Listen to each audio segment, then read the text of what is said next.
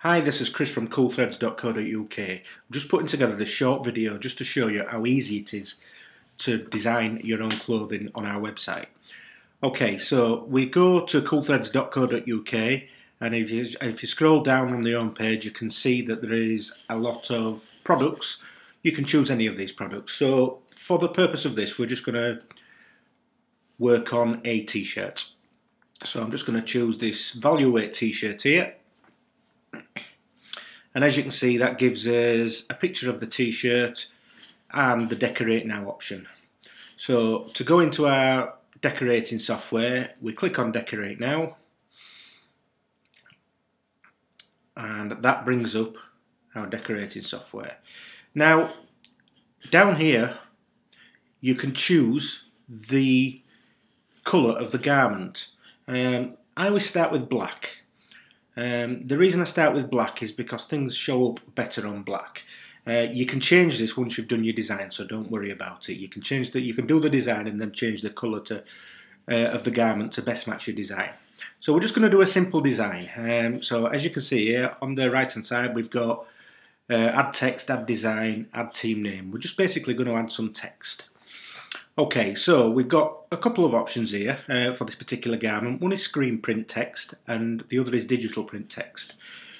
On screen printing we have a minimum order of 25.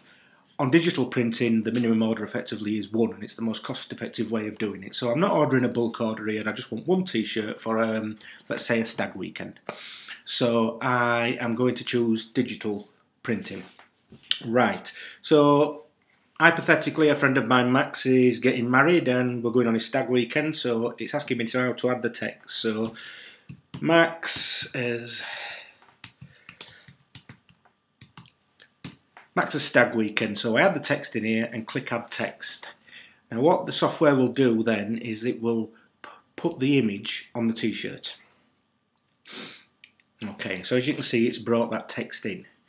Now what we're going to do is, I don't like the red, we're going to make it white. So up here we can change the font or we can change the colour. Um, I've clicked on the down arrow side of the colour and you can use the slider system to mix and match your colours or I like to click on standard colours and you can just choose a colour from there.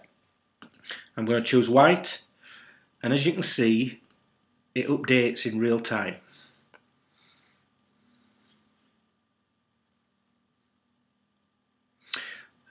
Right, now what that's done is we've got obviously Max's stag, weekend here. Uh, if I click on that, it brings it up um, into a zoom view for us. If I click on that, it takes us back down.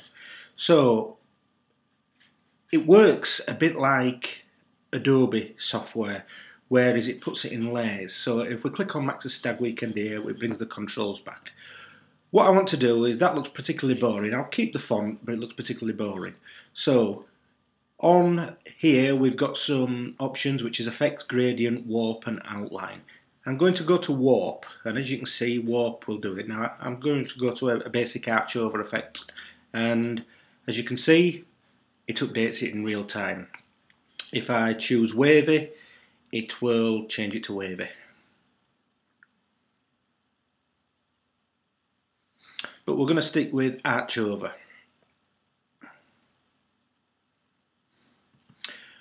Okay, up here on the right we have got some options so we can increase the size, we can change the position of it, we can even spin it round if we want. So it's very customizable as you can see, but at the moment we want that straight. So I'm going to put that up at the top there, Max's Stag Weekend. Okay, once I'm happy with that, all I simply do is continue. So we're having Max's Stag Weekend now. Let's say we want to bring an image in.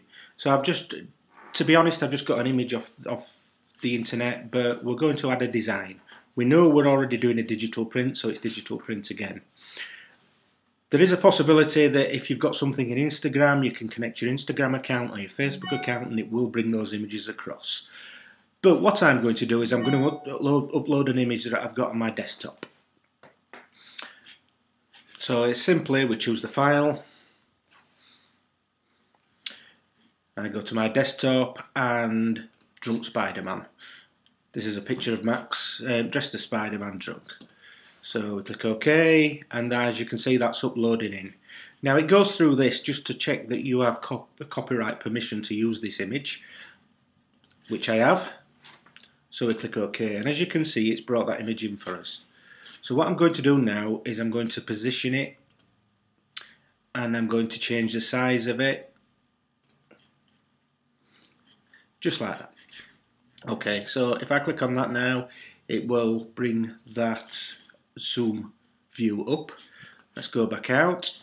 Um, we'll go back to the image here, and there is some effects and border effects. So if we want to grayscale it, we can change that and it will update it. If we want to give it a sepia tone, etc., we can do that. But we don't want that. The borders are quite good. Uh, as you can see, you can bring it. You can you can put a border around it. I like this one here because that gives it soft edges. The other option here is if you ever see these t-shirts that have got like a, an aged effect, this can do that, but it only works on some images. You can see it's made it look a bit aged on the corner, so we'll stick with that. Okay. So what we can do now is we can hit the preview button and the preview button brings us that up and there you can see we've, we've designed a basic t-shirt. Click close. Now right at the beginning I said that you could actually change the colour once you've done the design so I'm not really happy with the black. I think that we need to change the colour. So let's try blue. So we click the blue and as you can see it updates it. That, I'm, I'm happy with that. So once we're happy with that, you choose your size down here. I wish I was a medium but I'm not. I'm an extra large. Add to cart. Follow the cart through. Purchase your item and we will prepare that for you. We will through our printing process and that will come out to you in the post. And it's as simple as that.